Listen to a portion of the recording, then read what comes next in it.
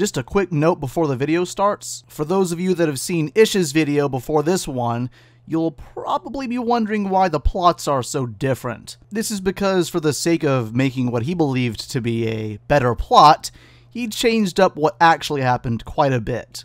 This video is much closer to what actually happened, though of course I'm a lot more biased than he is. That being said, the only creative liberties I took were just attempts to make what would have been a Discord call a little more entertaining to watch. Also, since he slandered my entire nation with that comment he made about the Iron Torch, he a picture of me three starring him in Clash of Clans. Take the L.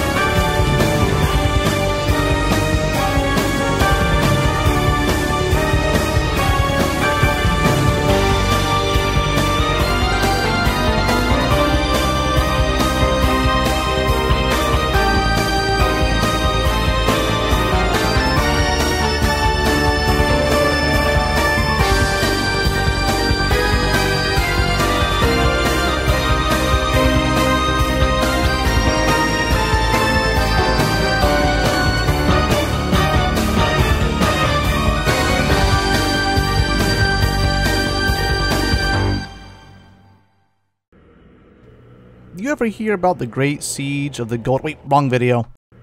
You ever hear the tragedy of the Smaragdus Emirate? No. I thought not. It's not a story the state staff would tell you.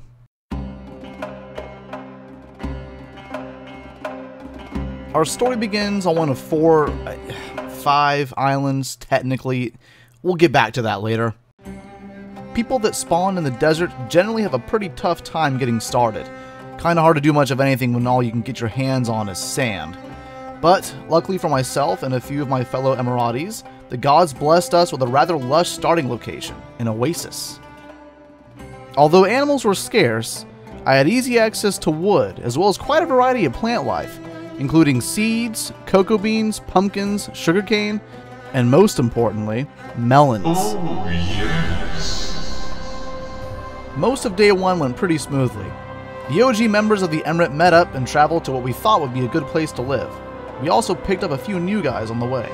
We did have a mining accident towards the end of the day, one that was very easily avoidable, might I add, had someone listened to me and not dug a 2x1 hole down to the center of the earth. But I digress. We started a small farm and gathered a modest amount of resources in preparation for day two. And finally, at the end of the day, I went and scouted out a location for the construction of our grand fortress, the Sepulchrum. However, what I found instead of a construction site was another nation entirely, Theria. This will be the beginning of our many, many issues going forward.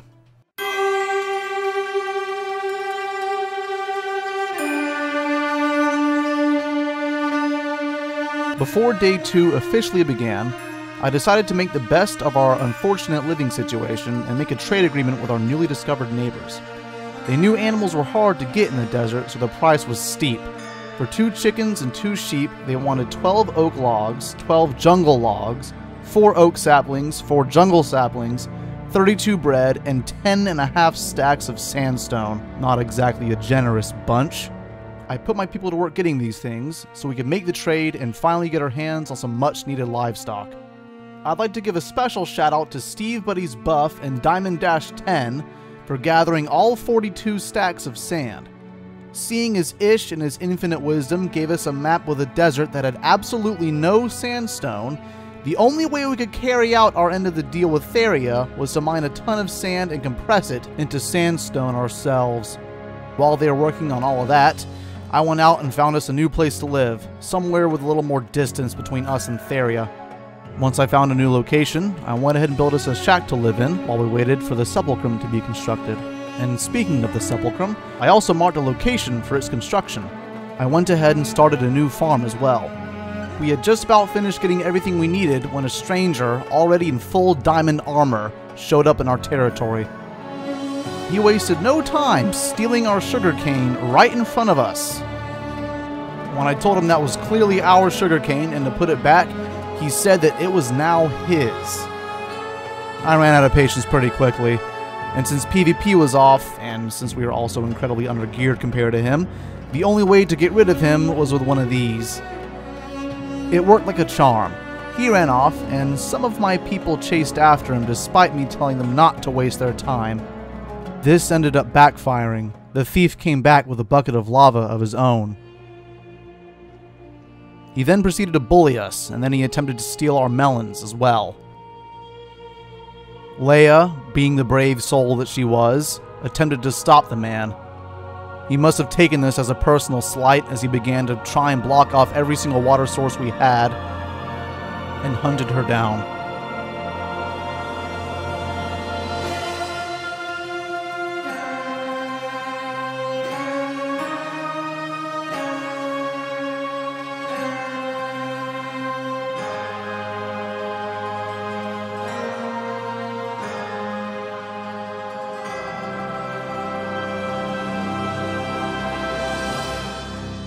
Leia's death was a devastating blow to our nation.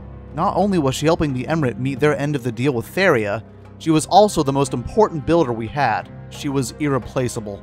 Not long after the robbery happened, the leader of Theria, Saparata, or Saps for short, visited the Emirate. And beside him, the thief. Apparently, the thief in question was a member of Theria, and Saps had come here to try to make amends. The only just outcome I saw was to douse this man in the same lava that he used to kill Leia. But, given the apparent gap in quality of gear, I wasn't exactly in the position to make such demands. Though, I won't pretend I was particularly friendly to either of these men. I tried to convince Saps to make the robber drop his armor in order to leave him vulnerable to meeting the same fate that Leia did, but Saps would not comply. The robber was even less helpful, trying to pin the blame on us, as well as downplaying his actions. My patience had already run out well before this meeting, so I told the two of them to go away and do not come back, and that our trade was off. However, in an attempt to fix things between our two nations, Saps did offer us a somewhat more favorable trade. We agreed that the Emirate would only provide what we had acquired so far, which at this point was the original deal minus four jungle saplings. On top of this, I pressured him into giving us 30 diamonds instead of the 24 that the robber offered. Of course, they weren't able to provide us with that part of the deal at the time, but they did agree to give us as many diamonds as they could. And for some reason, I had a very strong feeling that it was going to be less than 30. Soon after this, Saps held up his end of the deal, minus the diamonds, while the rest of the Emirate was working as fast as they could to get the hell away from Theria Theria's position on this was quite clear. Emirati deaths could be paid off, while the murderer is allowed to go free. This is something we would not forget. Our feelings were only further reinforced after I managed to sneak into one of Theria's post-session meetings. Their Discord perms weren't perfect. Um, okay, we also need to talk. Uh, Tiki Wilhelm, Apparently, you've been accused True. of killing a, me a, member with a lava bucket after stealing sugarcane. I dealt with that. Listen, but I know it was a misunderstanding. I know they were kind of be assholes as well. They're very, very isolationist. It's the Emirate. Uh, you wanted sugar, so you stole like a piece of sugar cane, which is fine. We were allied, but they like flip shit basically. Okay. And uh, they, I don't know the exact scenario how it happened, but they started attacking each other, and They placed lava bucket. He took their lava bucket and killed their own thing. Oh, well that's just They're like, fucking well, stupid. It's stupid. A It's little bit stupid. And I don't yeah. blame you. I'm not angry at you. But just don't go near their territory. Well, after that enlightening encounter, I figured I would be better off bringing my grievances to someone that would see things a little more eye to eye. Someone that would punish murderers in the way they deserved to be punished. The Sultan. Behind the scenes, the Emirate and the Sultanate were very strong allies, and I knew my best bet to get that murderer killed would be to go to them. And as I had hoped, the Sultan worked his magic and convinced Theria to kill the murderer. I was very much looking forward to the following day when this execution would take place, but it seems that staff had other ideas. Ish decided that the crimes not only violated Emirate law, but server law. He banished the criminal permanently and did something miraculous to right his wrongs. I don't know what happened to Emirates.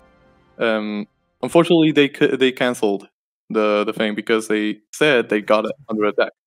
Is that right, uh, AJK? Because AJK is on the audience, so he can uh, explain that better than I. EJK. Oh yeah, he is here. Why? How did he get here?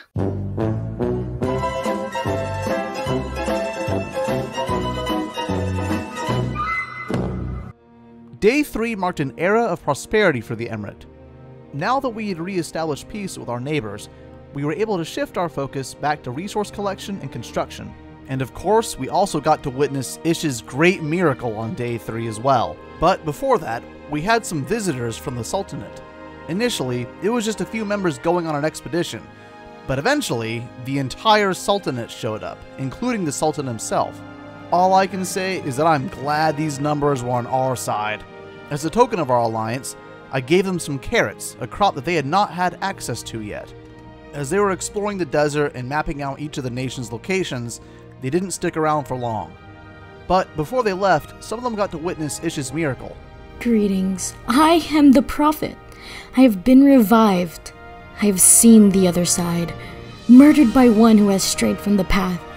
However, by my power I live once more.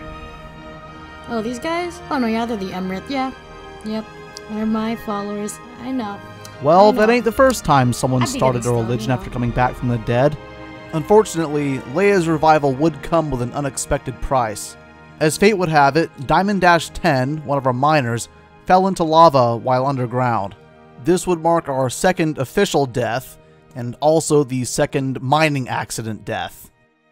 Other than the death of a second miner, day 3 blended pretty smoothly into day 4, which was a long build day. The purpose of this day was, as the name implies, build things and also gather resources. For a good part of the build day, most of the members of the Emirate were out collecting all the resources that we needed. However, I stayed at the base and put all the stone the miners collected to use. While PvP had been enabled on the previous day, it was once again disabled on this build day so people would focus on being productive. However, as you might imagine, that didn't stop everyone from giving me a headache. While I was working on the first layer of our fortress, I noticed that someone was sneaking around in our shack. So, naturally, I jumped down to investigate. As I got closer, I realized I had seen this man before. He had recently come to us offering a trade for some leather. Doesn't explain why he was in our shack, though. Oh, hey, what's up? I got the leather for you. I heard a chest close on my way over here. Uh, You taking a look at things you shouldn't?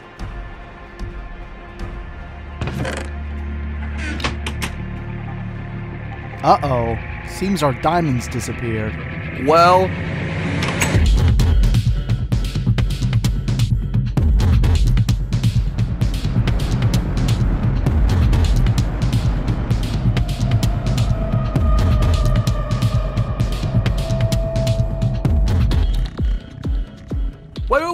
wait, wait, wait. Just make this easy for both of us and give me my stuff back.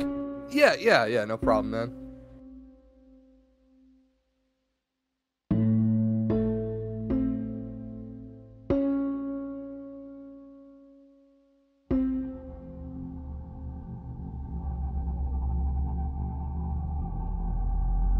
Hey, everything all right? If he cooperates. All of my stuff. Ah, you got me. All of them. Alright, just tell me how many you had. Doesn't matter now. Only way you get out of this alive is by doing what I tell you to. Alright, fine. Now for that leather you owe me. Man, uh, alright.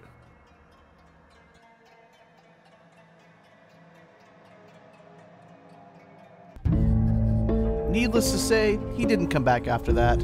Funnily enough, it turned out he was actually a member of the Sultanate. He tried to pin the blame on me, but after I told them what happened and showed them the proof, they put him in prison. This just further confirmed, in my mind at least, that the Sultanate really did care about justice and wouldn't even play favorites among their own, unlike another nation I recently had a similar experience with.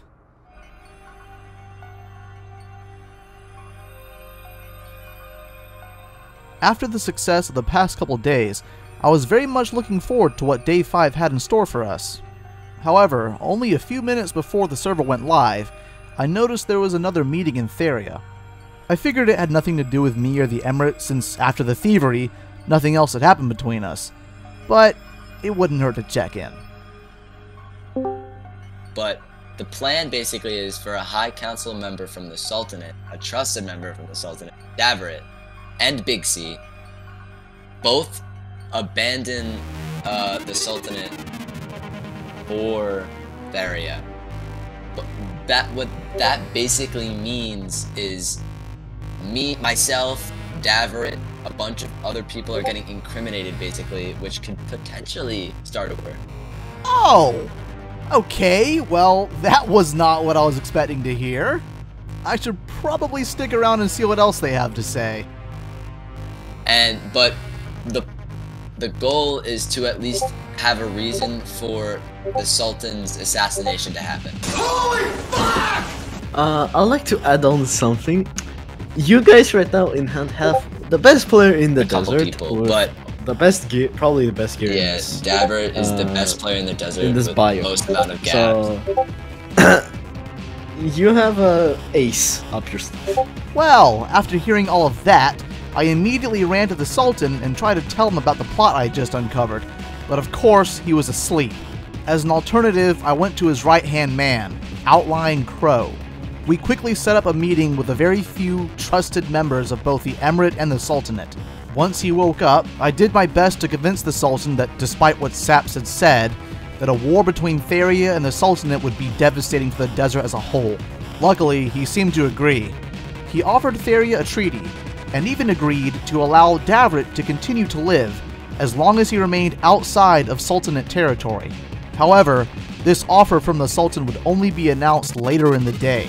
In the meantime, I stayed way up in the sepulchrum, sweating spinal fluid. Not long after I told the Sultan about the plot, I found out that I was not the only spy. Someone had told Saps about my little act of espionage, and he held a vote to kill me.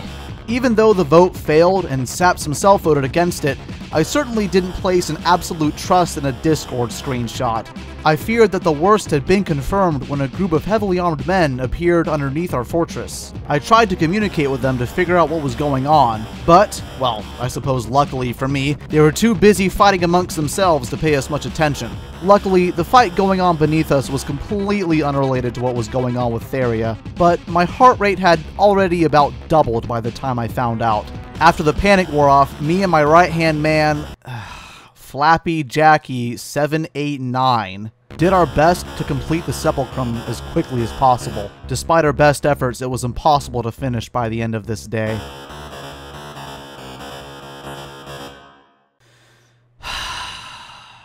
Day 6 started off perfectly. We lost yet another miner, though this time it was due to some technical issues rather than pure incompetence. Other than that, we pretty much just picked right up where we left off from day 5, getting the base done ASAP. I did also have my right hand man and a trusted member of the Sultanate, XX King. XX King. Eh, King helped us build a mine rail between us and the Sultanate, and that's pretty much all we did that day. though something caught us completely off guard at the end. And but the the goal is to at least have a reason for the Sultan's assassination to happen.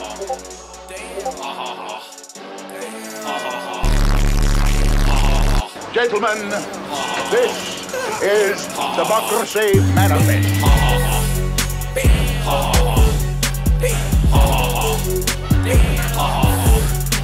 I'm laughing to the bang So, Saps offed himself.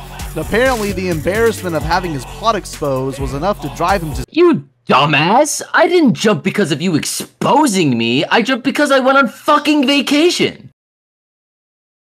This is the second time I had to record this. fuck, fuck, stop! On day 7, the borders between the islands finally dropped. The three other islands were pretty different from the desert. The Snow Island primarily consisted of one single kingdom, with a few tiny other groups here and there. The Plain Island was the complete opposite of the Snow Island. It comprised of several nations that had united together as one. Also, unlike the Snow Island, the people of the plains were spread across the entire island, rather than- Who is playing that music so loud?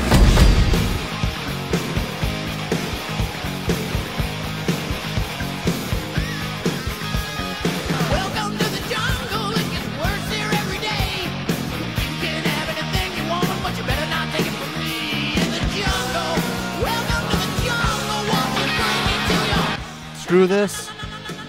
Yeah, screw this. I'm gonna watch you bleed. Oh, uh, yeah, there was also the fifth island, which uh, people could go to now. The, the one I talked about at the start.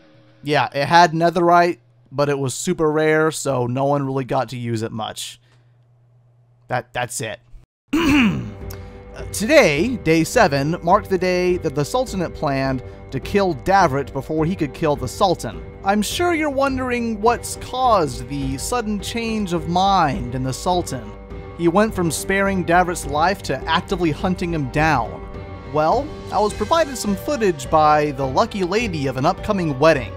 I'll let it speak for itself. So, would you like to join? Just explain your plan, man, and I'll see if, if it's something that I'm Um, willing to take on. Let me let's say this. You're gonna work with me. You're gonna be there to assassinate the Sultan with me. So, yeah, we're back to killing Davrit.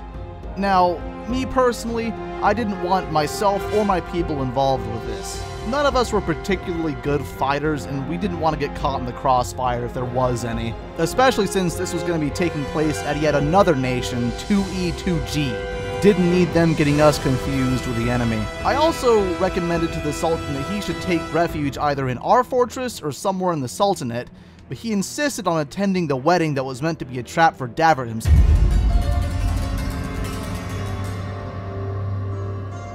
What?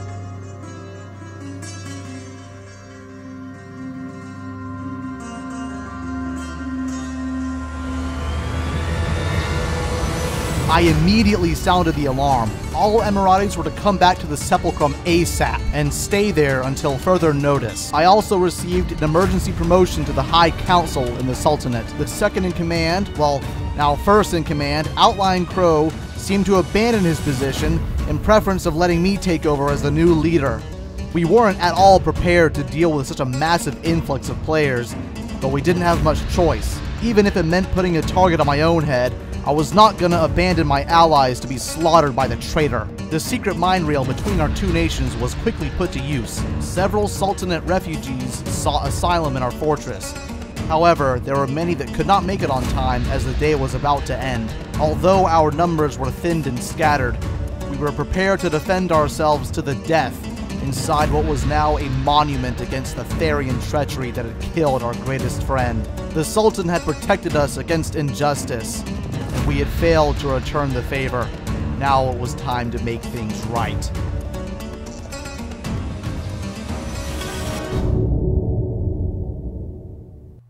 Before day 8 began, some of the survivors of the attack gave me details of what had happened. Apparently, Davrit decided to become a mole rat and dug his way into the middle of 2E2G where the wedding was taking place. Once he surfaced, he quickly spotted the Sultan and launched his attack. Well over a dozen men tried to put a stop to this, but he had so many golden apples that no one was able to put an end to his assassination attempt. The best they could do was drive Davrit away from the Sultan, giving him time to get to safety and regroup with his guards. To all of our dismay, that ended up being part of their plan. Two of the Sultan's guards, Optimus and even Zomta, had betrayed him. They had already worked everything out behind the scenes, and when the Sultan was isolated, they struck. The cowards quickly ran into hiding, and at one point during their retreat, they were actually right underneath us. Unfortunately, at the time, we had no idea what was really going on and lost our chance to get revenge. As far as I was concerned, my only job now was to put in motion our own plans for assassination or even full scale war. Despite the fact that several other people had the same idea, we first had to deal with the massive migration of Sultanate citizens. It was imperative that order be re established amongst ourselves before we took action against our enemy. Day 8 started off with a number of intense negotiations. Luckily for us, Theria and the other nations of the desert had no interest in continuing this conflict. In fact, the complete opposite was true. They wanted to form an alliance that spanned across the entire island, uniting the desert as one. I certainly had no interest in shaking hands with Theria. However, to buy ourselves some time, I complied. I didn't exactly trust Theria at this point. Big surprise there. So my right-hand man and I both agreed that it would be better if he went in my place. We figured there was a pretty decent chance that this was going to be an attempt to kill me, as I was the only significant source of opposition left. However, once he got there, he didn't notice anything off. That didn't last long. Apparently there were some people opposed to the alliance, but it wasn't Theria. Other than that little hiccup and some misplaced blame, the meeting went smoothly, and Flappy was able to return home safely. In an effort to ease tensions between Theria and the Emirate, one of their higher-ups, Jophiel, offered to supply us with building materials. She was also interested in helping out a recently formed nation, the Imamit. From the ashes of the Sultanate rose the Imamit. This was quite a relief to us, as it meant that we did not have to suddenly manage a nation four times our size. Even though we were two separate nations, we were very close allies, even closer than the Emirate and the Sultanate had been.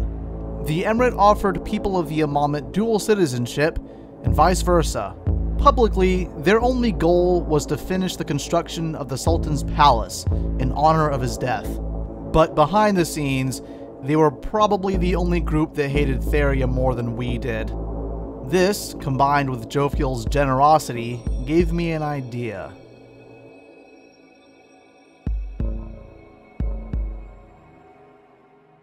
Day 9 was the calm before the storm. Not just for the desert island, but for the world as a whole. I won't pretend to fully understand the details of the situation as I was too busy dealing with desert politics.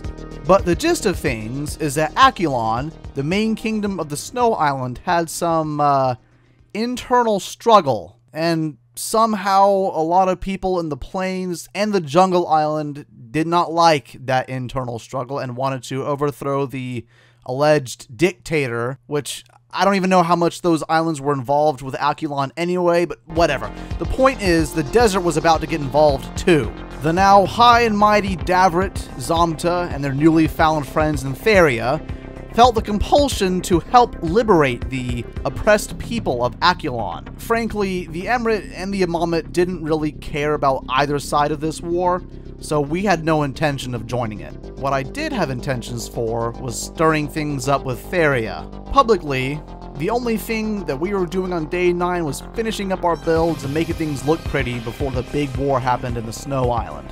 But between my right-hand man and the ex-right-hand man of the Sultan, we were planning on kidnapping the now acting president of Theria, Jophiel. While we didn't have a problem with her specifically, we needed a way to bait Theria into attacking our fortress. With our lower numbers, a defensive battle would go much more in our favor than an offensive one, I was about to start spreading the idea to some of our other members when I got a call from the leader of Aculon himself. I'm just gonna go back and explain everything. Okay. Okay. 12 seconds later. It's actually pretty complicated, so I'm not gonna go into all the details about this. Cool. Um, and right now, it's us, and we're trying to get as many allies as we can. Are you guys in? Hmm. I'm telling you now, I have plans that I cannot share with you right now because the haters will sabotage me. I have plans that I cannot share with you right now because the haters will sabotage me. I have plans that I will not share right now because the haters will sabotage me. But I got some stuff in the works. Well, uh, this is all history at this point, so I can tell you guys. So here's the plan. My good friend Flappy managed to screw up getting cows from the Sultanate to our fortress. This was due to the fact that his animal elevator was not as flawless as mine was. And since cows were a rarity in the desert, this meant that we still did not have access to leather or steak. So I had the rather ethically questionable idea of using our lack of cows as bait. You see, Jofiel was all too willing to help out the Emirate and the Imamate get what they needed. Also, the last time she brought stuff over to the Emirate, she came alone. So I put two and two together. If I asked her to come over to the Emirate with some cows, she would almost certainly do so by herself, all alone, in our territory. I couldn't ask for an easier kidnapping victim. Once we had secured her, we would force her into one of the cells similar to the one that the thief from day 4 was stored in. And if Theria ever wanted to see her again, they'd have to come free her themselves. It was a perfect plan. Nothing could possibly go wrong. Fall.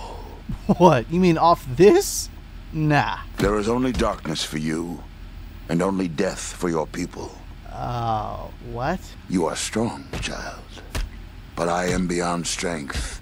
Do you know how far down that is? Oh!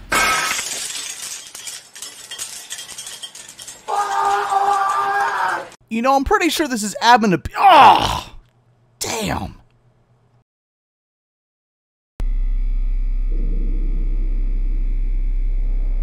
Oh, it's you. You know, I never thanked you for dealing with- Oh, come on!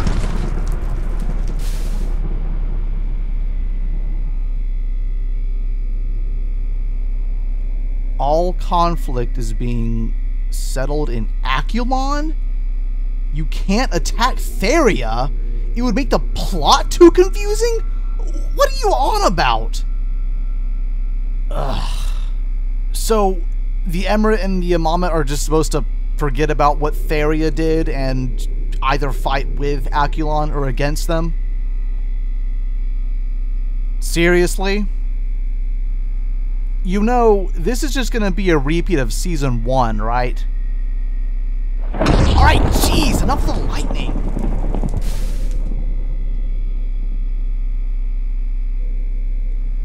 If Theria agrees to the fight, you can go to war.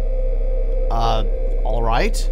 I mean, I don't see why they wouldn't want to. Uh, I don't think they really care about the war in Aculon either, and it would give them a chance to get some screen time. I mean, sounds like a win-win, really. Uh, let's go ahead and get... Oh, she's already here. Okay, so this is gonna sound bad, but I want to kidnap you to bait your nation into attacking us. Yeah, I, I know, I know, crazy. But hear me out. Uh, if you cooperate, we will guarantee that you'll stay alive no matter what happens. Um, win or lose, the Emirate will spare your life as compensation for your sacrifice. Uh, I figured, you know, a war between us will get us some good screen time. Um, you'd be a main character. I mean, this seems like a win for you. Uh, what do you think? Wait, what are you doing? so, Jofiel was not a fan of the idea. She was an adamant pacifist and refused to let any Therians die in this war. So, we negotiated. Later, in the void. Alright, so the best we could come up with is that Theria attacks the Emirate after we kidnap Jofiel, and then we fake the fight so that nobody dies. I'm gonna run this by my people and see what they think.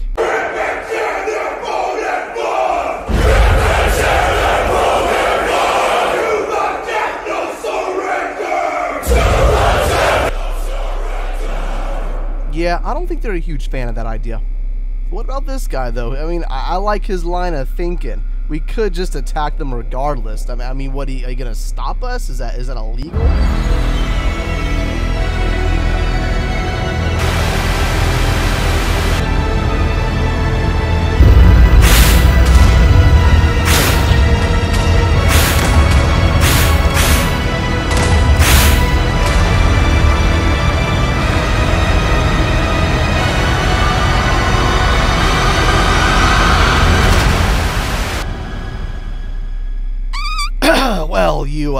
Make some compelling points. So we have to attack or defend Aculon, and if we attack Theria, we all die. Is that? Am I getting all that right? And and this is because Jofiel won't let us attack them. You know what, Jofiel? Maybe burning to death isn't such a bad idea.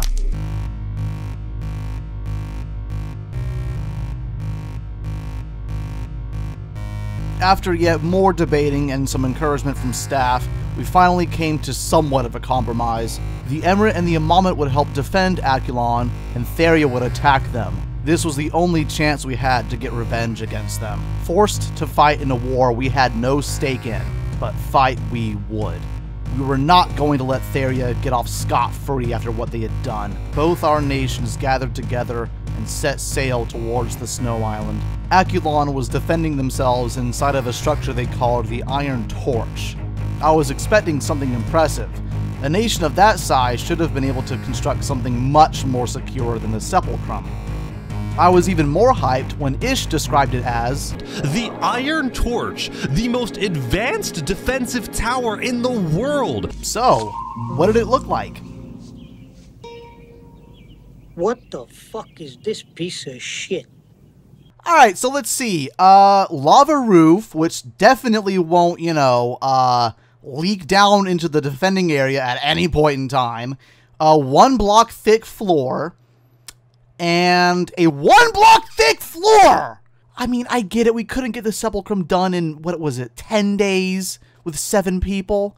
But come on, the most advanced defensive tower in the world with a one block thick floor? I'm not trying to play around a high pixel spleef while I'm fighting a war. well, it was too late for us to turn back now, so we just had to make do in this death trap of a tower. We just had to hope that the enemy numbers had been thinned enough by the time we were ready to jump down and kill the two traitors. But all we could do for now was wait.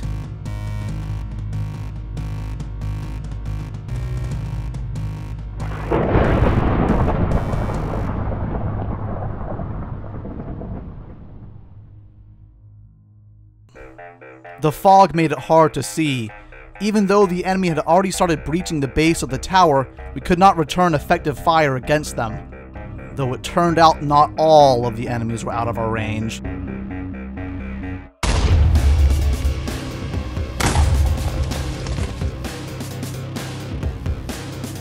Yeah, this place was a death trap.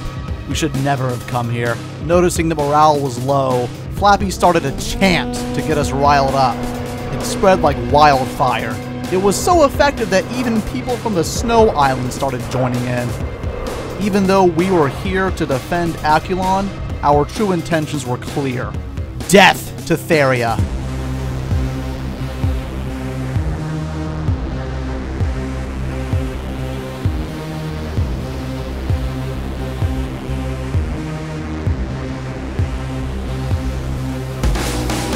The enemies slowly progressed their way up the tower, both within it and outside of it. We were killing off a pretty decent number of them, but it was impossible to ignore the progress they were making. Eventually, they began to make use of the tower's great weakness of having such a thin floor and breached through.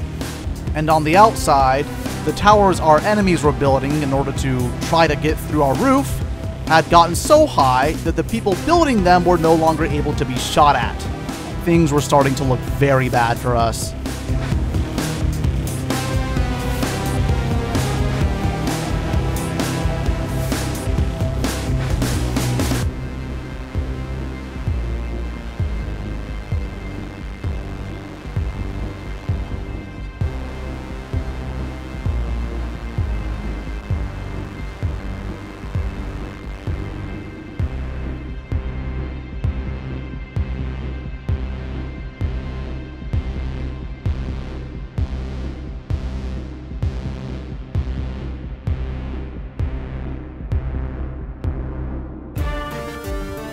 They just got way worse. With the leader of Aculon dead, the morale of most offenders quickly diminished. Time was running out fast. I didn't have long to make a decision. Either we stay here and probably die in this now hopeless battle, or we make a desperate run back home. Getting down the tower safely seemed impossible, but I'd rather take that chance than die in a war I had no part in.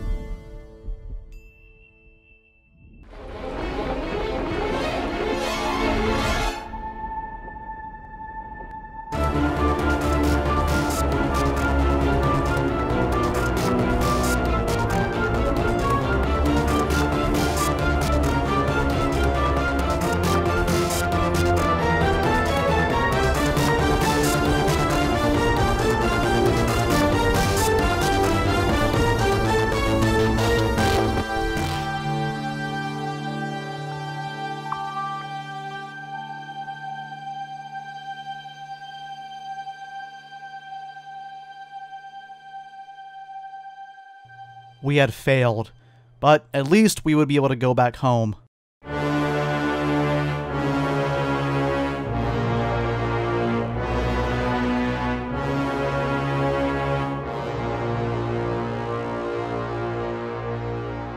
They killed him. My right hand man was killed in this pointless conflict. We shouldn't have even been here. This, this isn't our fight. This is Aculon's war.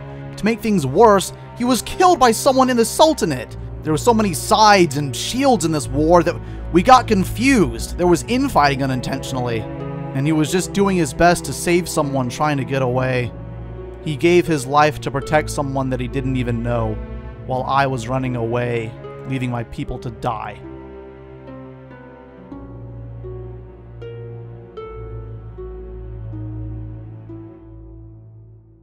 No.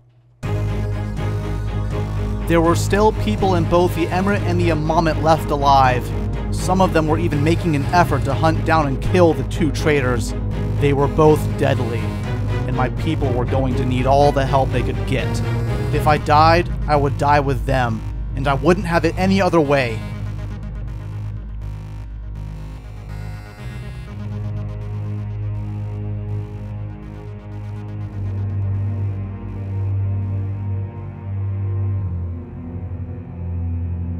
Okay, we don't need to throw ourselves into whatever the hell that is.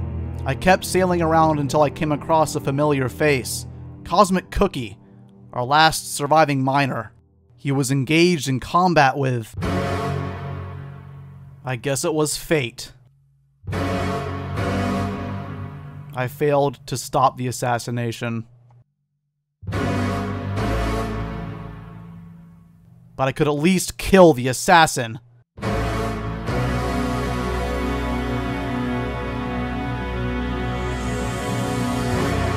And at the same time, the Imamate had just found Zamta. All the pieces finally fell into place. And now it was time to make our move.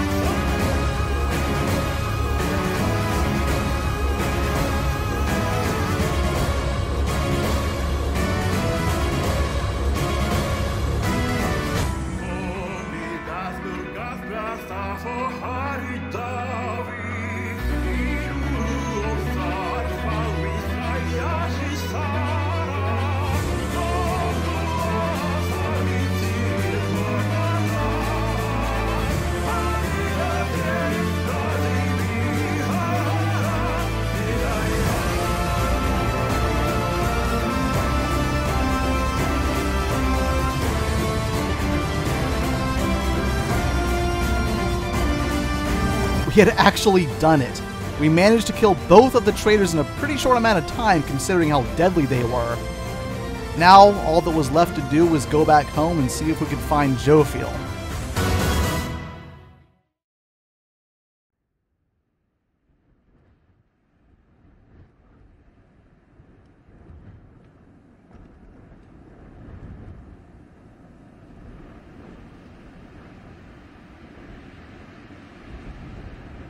Flappy wasn't the only person that died in the war. Although I already knew that Cosmic had died shortly after we killed Davrit, I didn't know how great the losses really were. Not until I got back home. Because I was the only one to make it home.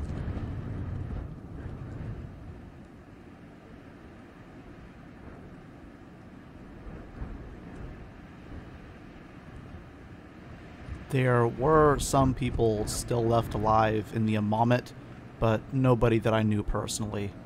King had also died due to some confusion between him and E 2E2G.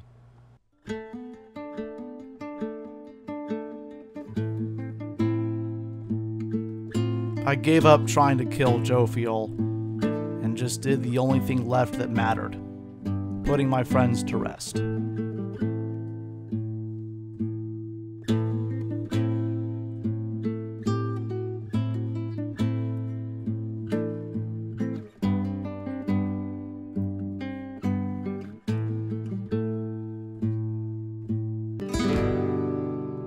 Stuck up here all by myself, I can't help but imagine how things could have gone had we been allowed to wage the war we deserved.